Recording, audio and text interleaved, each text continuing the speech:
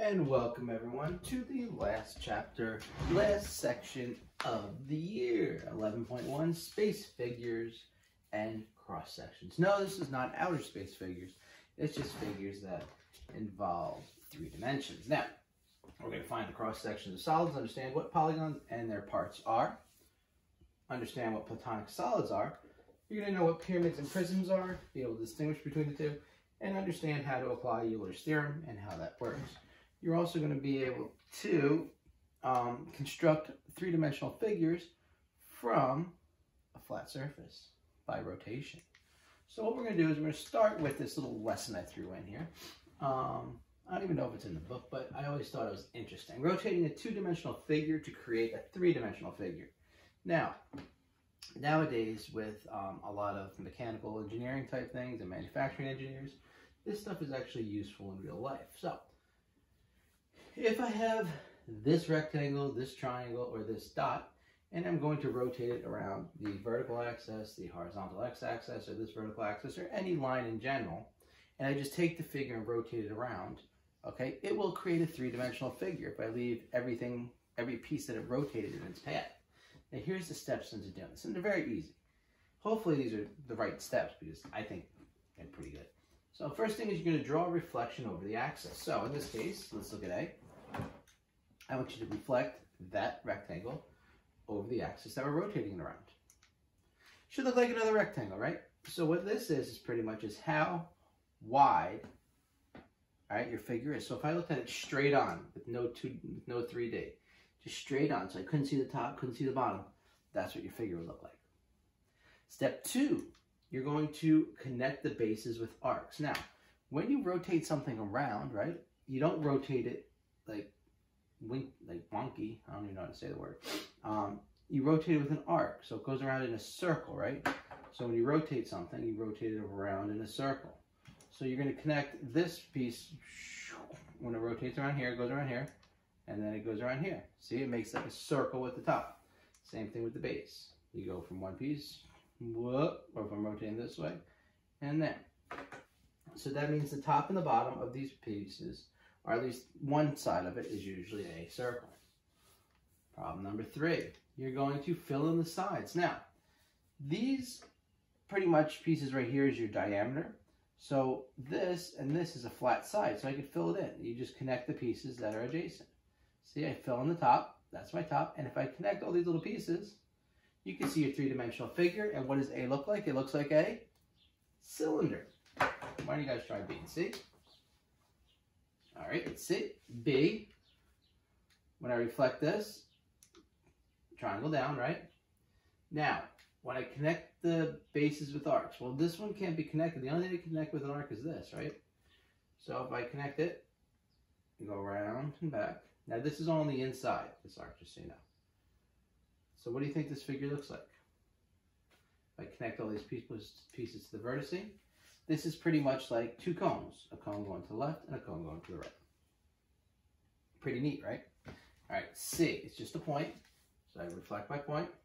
I connect it with a circle, and that's what your answer is. There's nothing else to really connect. Um, the figure you create right here, if you fill in this piece right here, it's either a donut, right, just a distance around, all right, or if you want to fill it in, it could be just like a flat circle, all right? That's it.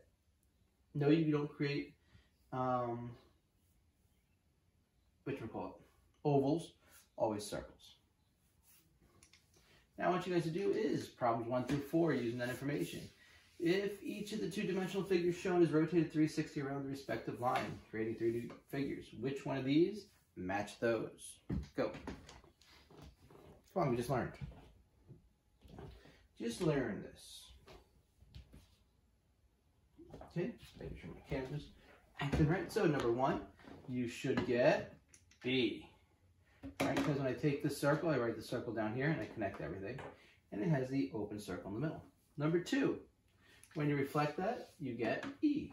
Because you get a circle on the other side, and then you connect all the people, pieces, and it is indeed a sphere. Three is not C, because remember what I said, everything has to be circular. So even though I'm putting the rectangle down here, this piece looks the same, that's in the inside. It's actually F because you have to go around. Remember, you do your arcs. And 4 is not H, it's D.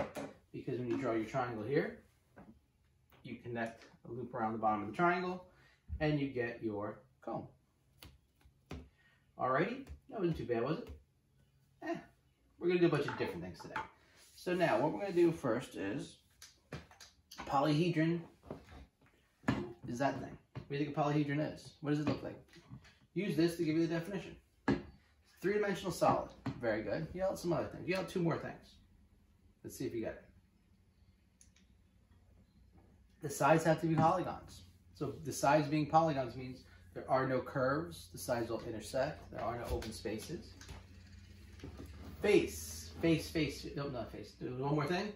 Um, there's no curves, which I just told you. All right.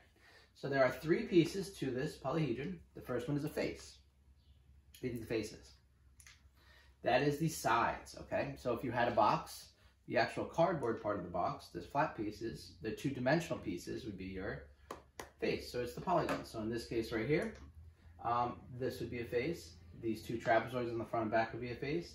Left and right would be a face. Top and bottom would be a face. Those are all faces. All right? Next piece is the edge. What do you think the edge is? Think of it. What is an edge? All right? Edge is a line. All right?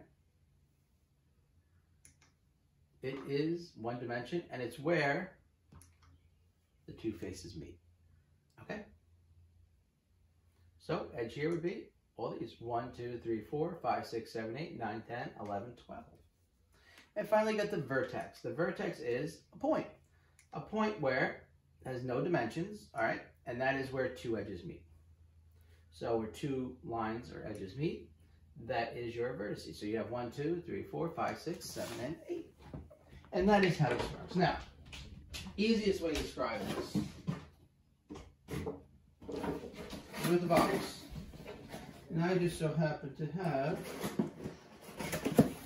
a box laying around my house. So, I don't know if you guys ever heard of Amazon before. Um, so say this box is my polyhedron, okay? This flat surface is the face. This piece right here, where's the at? This line that runs and connects the side to the top would be my edge, okay? And this corner piece right here, where the two edges meet, would be my vertex. All right, that help you out? Good. Now I can recycle that. Uh, always recycle. Care for the earth. All right, so I want you guys first to circle the polyhedrons. You have to know what a polyhedron is before you begin. Now, remember polygon, um, all straight sides. Now, it just so happens my second grade daughter is learning this in her class. Not 3D pieces, but what a polyhedron is, uh, polygon is. So you can't say you don't know. All right, A is a sphere. Nope, it's curved. B is a cube. Good, all straight sides. C, prism. Good. D, curve. Bad. No curves. Good. F, I see a circle. That's a curve. Bad. Good. Straight lines. Straight lines. Straight lines. Okay? Straight lines, polyhedron. Anytime you just throw one little curve in there, not a polyhedron. Got it? Awesome. Let's do these. All right. Curve, no. See a circle, no. I see a circle, no. All straight sides, yes. All straight sides, yes. Sphere, no. Donut, or some name that I forgot, no. Good, good, good. And what about K? What do you think? Good. Even though it's a pyramid kind of with like the top cut off, it's straight. Right? Only one that was different. We all good? We all good? We all good? Let's move. Prisms. Now, prisms and pyramids are two of the more important things. So first thing is with a prism. What do you think? What do you notice about these prisms? Well, has two pair of, one pair or two parallel congruent faces and the rest are rectangles. So what that means is you have two faces to your prism, okay? Face, face, face, face. Notice they're all the ones that are colored. Those faces are the same. They're the same exact shape. And then the thing that connects those two faces is a bunch of rectangles, okay? And those are your other faces. Now, the name of your prism is based on whatever this shape is. So I'm to have you guys name these. Unless it's all the same side, then it's a cube. Um, and the bases have to be polygons, meaning all the sides have to be straight. You got it? So let's see if you can get this. So number one, rectangular prism. Okay? What about this one? Six sides. Hexagonal prism. What do you think? Pentagonal prism. Last one. Cir nope, not a prism. You remember? Has to be a polygon. What is that? cylinder. Right? So it's not a prism. Did I get you? Good. No such thing as a circular prism. Don't even say that. I'm glad I didn't hear it. All right, so pyramid. What do you notice about a pyramid? What do you think? One polygon. So the base or the bottom of your pyramid has to be a polygon. All sides have to be solid. And the rest are triangles. So all the other pieces are triangles. And they all go to this point right here, which is your, what? Name is based on the shape. The top is your vertex. I don't know where my vertex went. Where did my vertex go? Oh, apex, sorry. All right, so your apex is the top point. You ever hear that? There's an apex wrestling club. It means you're at the top of the pyramid, top of the food chain. You're the best. Yeah? All right, so any time you hear the word apex, that's where it comes from. Top of a pyramid. All right, and you want to be the top. You never want to be on the bottom. Top, there's a lot of fewer people there. All right, so let's name some. What kind of base is that? Rectangle, rectangular pyramid. Six sides is a hexagonal pyramid. One, two, three, four, five sides. Pen, is that seven? One, two. Um, see how this is fuzzy and I gave you a bad shape? If you can't tell how many sizes are, count the number of lines that are running to the apex, the number of edges. So one, two, three, four, five, six, seven. All right, my bad. All right, this one, these are kind of blurry, so I'm gonna count these. One, two, three, four, five, six, seven, eight, nine, ten is a deck nine. One, two, three, four, five, six, seven, eight, nine, ten. That should be ten. That should be um, decagonal pyramid. Wow, I always counted nine before. All right, if there was nine here, it'd be a nonagonal. All right, I think there's ten though. I could be wrong. My eyes, my contacts have been really bad lately. All right, so anyway, that's not important. Um, label the following as a pyramid or a prism. This goes back to when I first started teaching this class. What do you got? A is a prism. Base, base, the same. B is pyramid. This stuff's simple. Anyone know what that's called? It's called the, it's in France, the Louvre. What's a building? Prism. Pyramid. All right, even though it's a star-shaped bottom, it goes to an apex. Nice little cake right here prism. It's actually a bunch of prisms stacked on top of each other. And finally, that is a prism. You know what that's called in real life? It's called a prism. All right, we all good? Awesome. I might need some new pictures. These are a little blurry. Mm, I don't like that. All right, number four. Sketch the following figures. So I want you guys to sketch these four figures. Start with a rectangular prism. Easiest way to do it is draw your two bases, and then you connect the um, corresponding pieces. Bottom left, bottom left, bottom right, bottom right, top right, top right, uh, top left, top left. Triangular prism, draw two triangles. Connect the pieces, there's your triangular prism. Square pyramid. So now you put a square on the bottom. You kind of have to draw it like a rhombus.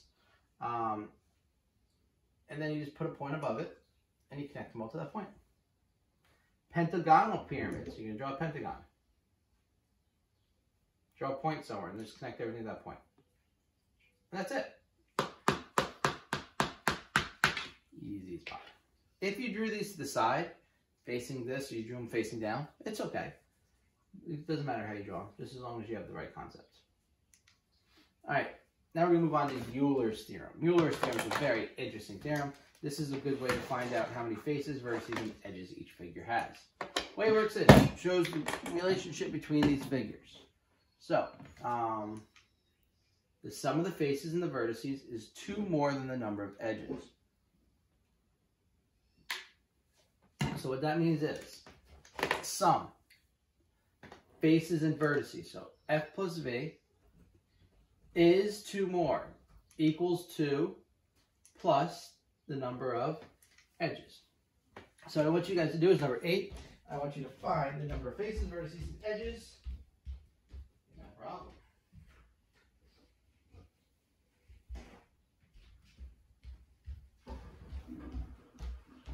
All right. Let's see if you got it. Faces. F is faces, right? Left, right, top, bottom, front, back. That's six. Six faces in the problem. Vertices, points. One, two, three, four, five, six, seven, eight. Right?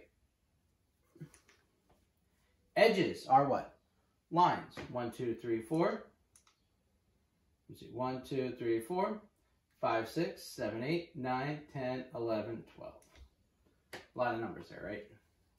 Now, the way to check this is faces plus vertices, 6 plus 8.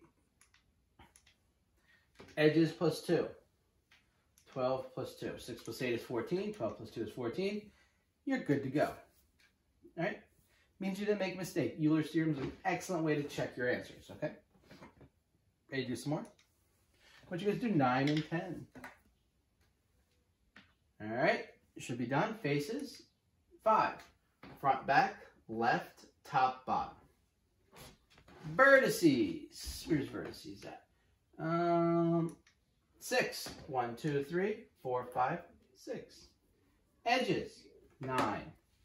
One, two, three, four, five, six, seven, eight, nine. This one right here. Faces. Oh, I'm going to check? 5 plus 6, 9 plus 2, 11 equals 11. Problem 10. What'd you get? Faces. Seven. Now, an easy way to find the faces on this is one, two, three, four, five, six sides. So each side has a triangle that runs here, right? So there's six sides, so there's six triangles, and you have a base, so you have seven. Vertices, same concept. Six points here, one vertex is seven, and then the edges is actually the number of sides you have here, which is 6. And then you got 6 lines moving there, so it should be 12. 7 plus 7, and you can always just count, um, is 14. 12 plus 2 is also 14. There's your answers. Good? All right, try 11 and 12.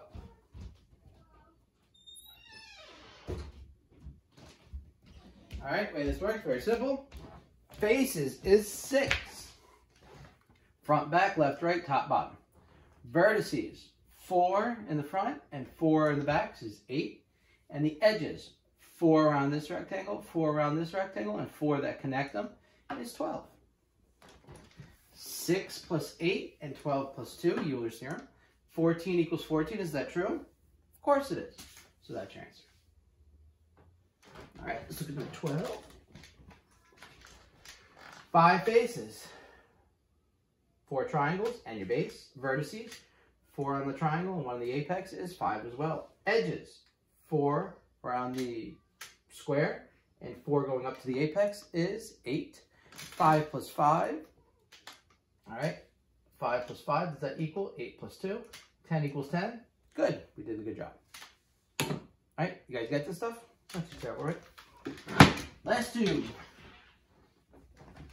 I think it's last two. All right, faces. You don't count this face in the inside because that's not a face. That's actually covered up. You just count the stuff on the outside. So the answer is actually eight. You got the four from the pyramid on top and the four from the pyramid on bottom, which is eight. Vertices, you have one, two, three, four, five, six. You don't count these twice. And then edges, you got four running up the top, four around the middle, and four going to the bottom, so that's 12.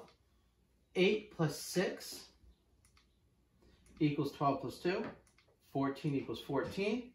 There's your answer. All right? Ready to do problem 14? Faces, four faces, front, back, top, and the whole bottom curvy thing is a face, right?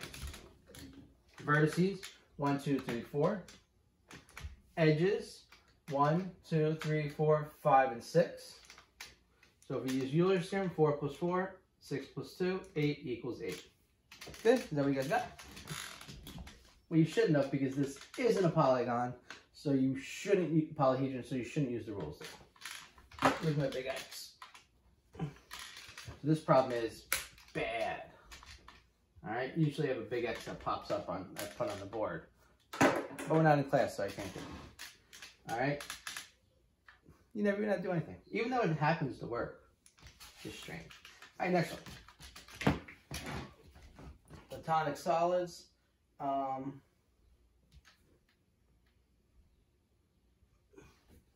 these we don't get into. They're just congruent faces with the same number of faces meeting at each vertice.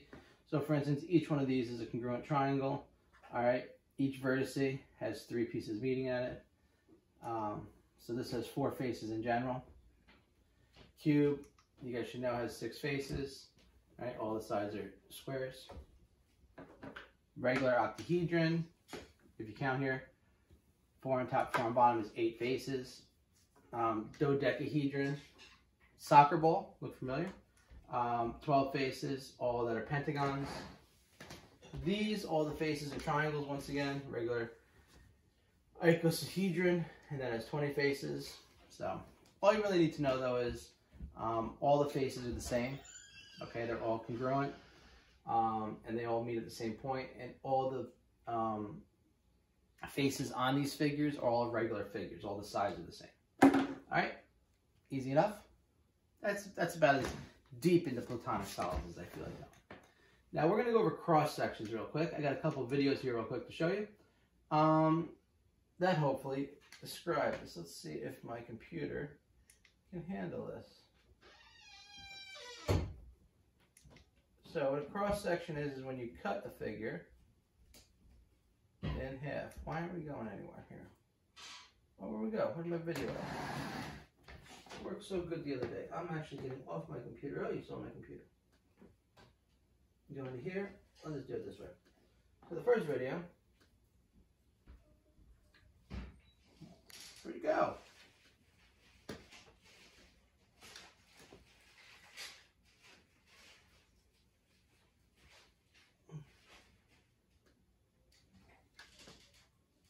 There we go. If you were to take a log and cut a log, the circular piece left over would be its cross section. All right. If you were to take a watermelon and cut a watermelon, circular piece left over would be your cross section. And if you were to, this is you guys' probably favorite. I couldn't find an updated phone, but if you were to take one of your nice little smartphones that you guys can't live without, and you were to cut it, you would be left with a rectangular cross section. All right. Um, that being said, what exactly is a cross section? It is when you cut a figure. That didn't work out as well as I planned. Um, you end up with something. It is a surface or a shape that would be exposed. Okay, when you cut things, you expose the middle of it by making a straight cut through something. All right, so right here, if I were to take a cube, and this would be my blade right here. If you guys ever played with that, Fruit Ninja, when you chop the stuff, all that stuff is your cross sections. All right, you would cut it right through the middle. What would be left over? That figure right there. What is that figure? All right, so I take it, I rip off the top. What is this figure that's left over? It is a square. All right, so do the rest. So this one, taking the same exact figure now, I'm cutting it diagonal. All right, you should have done all these problems. When you do that, this is your cross section. There's a, a view of it. You have the triangle here. You this, you pull off the other side. That is a rectangle. All right. A hexagonal prism, you cut it right down the middle. All right. Take the other piece away, you're left with a hexagon. See, I took this hexagonal prism and I cut it right this way. I cut it the top straight off, so I made two trapezoids here. What would this long cross section be? Well, it'd be a rectangle. Okay. Um, oh, I have another cube. I take my cube now and I just cut the corner, but I cut it at a angle. So that right there would be my cross section. All right. It'd be this piece because I ripped off the other piece. And what does that shape look like? Parallel bases. This one's a little bit longer than this one. It would be a trapezoid. All right, 19. Now I'm just cutting off the corner. When I cut off the corner, what shape am I left with? A triangle.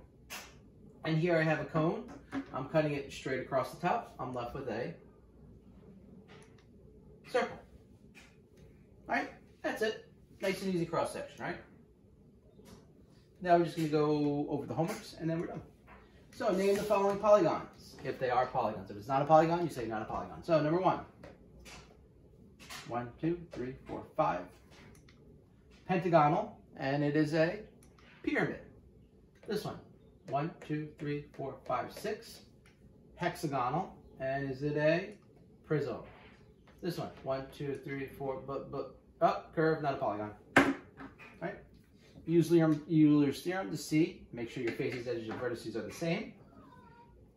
Faces, front, back, left, right, bottom, is indeed five. Edges, Three for the triangle, three for the triangle, and three connecting them all is nine. Vertices is one, two, three, four, five, six. You want to check your answers. Faces plus vertices equals edges plus two. 11 does indeed equal, oh, 11 equals 11. You're set. Number five, faces.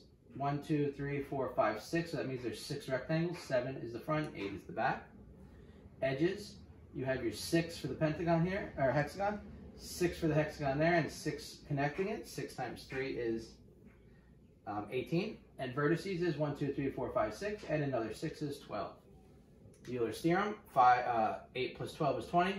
18 plus 2 is also 20. We're good. This one right here, faces front, back, right? Bottom is 3, 4, 5, 6, 7, and then 8.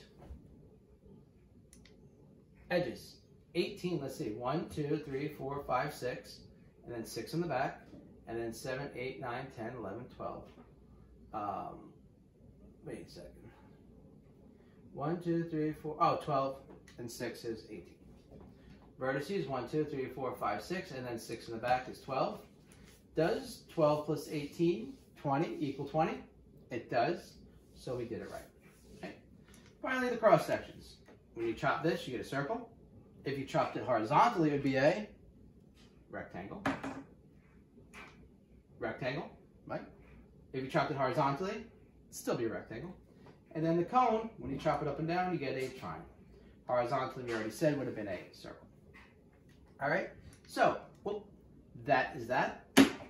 Hopefully, you guys have a good graph, uh, a grasp on what um, polyhedrons are, the properties of them, and how they work. And um, now we're going to go over how to find all the volumes. So the next time. I'll see you there. We only got three things left. Good? All right.